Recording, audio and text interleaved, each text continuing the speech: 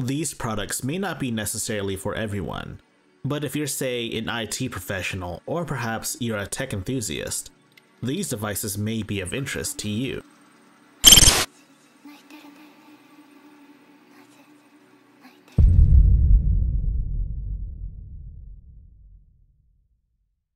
You may be confused as to what these products are. Well, both of these are hard drive enclosures by IODD. They're not your typical drive enclosures though. Both of these hard drive enclosures were made with a greater purpose in mind, IT guys that work in offices. And yes, while both of these devices cater more towards the IT crowd than the typical home user, there are some very useful features that you can use on the Steam Deck. Let's start with the IODD Mini. This device comes with a 1TB NVMe SSD already inside of it. It's meant to house SSDs that are about 42 millimeters of length. It's a pretty uncommon size, so you probably won't have one lying around your house unless you work in laptops and stuff. And you know what? There it is. This kind of reminds me of those old college clickers we used to use to answer questions. And as you can see here, there's a nice material surrounding it. A nice bag material. I don't know what the material is. Someone can tell me what it is. I'd be much appreciated. You can actually pop the hood off of this to remove it, but there's a little sticker that says it voids your warranty. Do so at your own risk, though I do believe they sell versions without an SSD inside of it, so you can just put one in yourself. I had my fun here, so let's look at this product right here. This is a carrying case, and IODD were gracious enough to send this to me alongside the other two products. It's pretty sturdy. I don't know if it would survive being like ran over a car or anything, but I would say it's pretty sturdy. I could put this in my backpack without any fear whatsoever though. So all you gotta do is stuff this in there, and we can go looking for the wire. As you can see here, the wire is in this box as well. You should be careful with this cable because it's somewhat of a rare cable.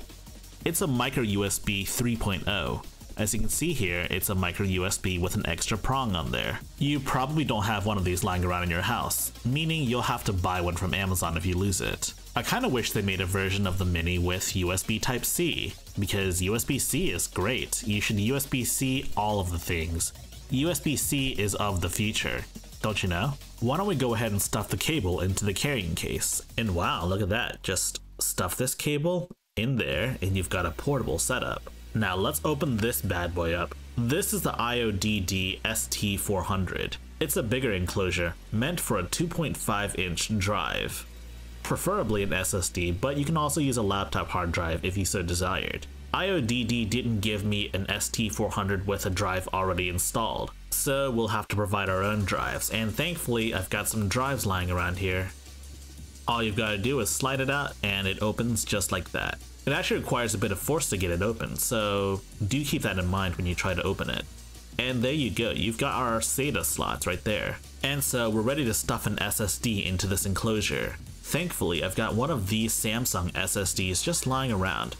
So all you gotta do is put it in and push it in and there you go. And swapping drives is as easy as taking it out. So there we go. We've got two drives ready to go. This one actually has a USB Type-C port. Kinda wish the Mini also had a Type-C port, but that's whatever. You can basically plug these drives into whatever computer you want and it'll recognize itself as a drive. But to do some of the more advanced features, you will need some setup. Here are some basic features you may be interested in. You can mount virtual hard drives as their own flash drives or removable hard drives. You can mount ISO files as an actual disk drive, in this case a Blu-ray disk drive. The computers even recognize it as a disk drive, albeit a removable one, but still a disk drive nonetheless. You can actually encrypt the entire drive. You would use a 4 to 15 digit code. Of course, encrypting your entire drive will wipe the drive, so be sure to back everything up. You can also set the entire drive to be write protected. You can mount up to 5 virtual drives if so desired, you can actually pick which ones are write protected and which ones aren't. Of course, the emulated optical disk drive functionality will be write protected. You can also determine which virtual drives are mounted as flash drives and which ones are mounted as removable hard drives. And yes, there's a difference between the two. The IODD ST400 also has the same exact functionality. It's just a different form factor. If you want a more detailed explanation, you should check out their wiki page. Links in the description down below. This is a must read. This information is absolutely vital. This will teach you everything, the ins and outs. My personal recommendation is you start with the firmware update. You can download the firmware from IODD's website. You'll want to select the correct one for your device. In this case, we're using the IODD Mini. And yes, the updater utility requires the use of Windows. You just press scan and you press update and it should update. So now that we've got that out of the way, let's go ahead and look at some features. One such feature that this product has is the ability to create multiple different virtual USB drives. You just need a program that can create fixed VHD files. IODD has one for download, but you can also use VirtualBox as well. The device also supports RMD files, which are the same thing as VHD files, but you would rename them instead. I'm not sure why it does this, but it's just something that it supports. You would then use the keypad to emulate whatever virtual drive you want. In this case, we created a SteamOS virtual flash drive. And once you use the keypad to select whatever drive you want, it'll immediately show up in your operating system. In this case, it's Windows. So yeah, it'll ask you to format the drive. Go ahead and format it to whatever you want. It really doesn't matter what you format it as because we're going to have to format it again anyways. We're just going to go with FAT32. We're to name this SteamOS and you want to take a guess as to why? That's right, we're to use Rufus to turn this virtual flash drive into a bootable virtual flash drive. In this case, we're to select the Steam Deck recovery image file. That way, in case anything happens to our Steam Deck, we can use the IODD device to refresh it, or perhaps even reinstall SteamOS. But that's a bit boring though. How about something a little more complex? Let's create a Windows to Go drive. This will let us plug this in to the Steam Deck and run Windows whenever we want. All you need to do is create a brand new VHD file. You can use VirtualBox to create a VHD file, or you can use this utility by IODD. Of course, this utility is Windows only. And we're going to use this utility to create a VHD file. So the only thing you need to worry about is the size. We're going to make this a 256 gigabyte drive. Press create and you should be good to go. Be sure to mount your virtual drive. Renaming it to RMD is totally optional. From there, you'll want to use Rufus to create a Windows to Go installation file. In this case, you'll want to list USB hard drives and then select your drive. Be sure to not select your IODD drive. You can name your volume whatever you want, but the image option needs to be Windows to go. You should leave the file system as NTFS, and then just leave everything else there. Once you've done all that, press start and it'll begin. This may take a bit though, so you'll need some time. It'll give you the option to select what version of Windows you want to install. In this case, we're going to go with Windows 10 Pro. See, wasn't that fun? Once that's done, you'll want to safely remove your USB device. Or, you know, just unplug it like a savage. You want to completely turn your Steam Deck off, and then enter the BIOS menu. Just hold volume up and press the power button. You can either plug it in directly to the Steam Deck using a Type-C converter, or you can plug it in using a dock. It's recommended that you use a dock though.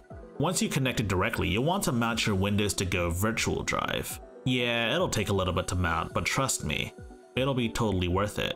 Go over to Boot Manager, and you should see a third drive in there now. That should be your virtual drive. You'll want to go ahead and select it. As you can see there, it's now loading Windows up. I'm just going to go through all the setup, so I'm going to skip all of this. And there you go, Windows is working. All you have to do is adjust the display and everything works as it should. And that's probably the most important feature of this device right here.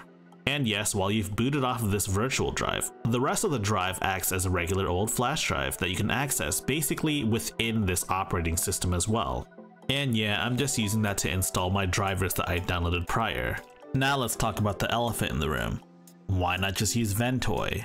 And you know what, that's a very valid point. You could just use Ventoy for a lot of installation media. All you have to do is flash Ventoy onto a flash drive, and then load the flash drive up with a bunch of ISOs. Yes, I would argue Ventoy is all most consumers actually need. But for the professional and perhaps the hardcore tinkers, there are some limitations. For example, older PCs don't really like being booted up from a USB drive. They demand you boot from a CD drive. This is something that IODD devices can do. They can emulate DVD drives in such a way that older PCs can detect it as a CD inserted into your PC. And as far as I understand, that's not something Ventoy can do. There's also some other selling points, such as the encryption as well as the on-demand write protection, but those features are more catered towards the professional. But I'm guessing some of my YouTube audience aren't exactly IT professionals. Can I recommend these products to them? It's a very difficult question to answer because it has a lot of features that normal people don't really need or even use. For normal people, I wouldn't really recommend this, but for the computer enthusiasts, or the tinkers, or the Linux users, this is a very nice to have product. Ultimately, this was a very fun product for me to experiment with, especially on the Steam Deck setting up a virtual flash drive that has Windows to go to boot up on my Steam Deck to play Destiny 2. It's very radical, albeit not that practical. But that's okay. If you wish to directly support Hi-Tech Lo-Life, you should check out the link in the description below for our Patreon page. And if you like this video, you should give it a thumbs up and subscribe as well. And if you want, you can also join my Discord server. As always, links in the description down below for all of this.